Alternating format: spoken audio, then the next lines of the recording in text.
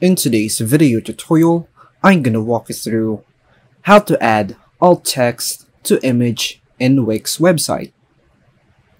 To begin, select website in the site and app section.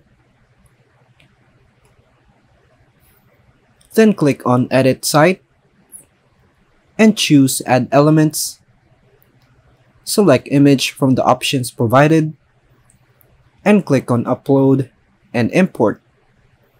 Proceed to click on upload image and choose the desired photo from your computer. Click on add to page to insert the image.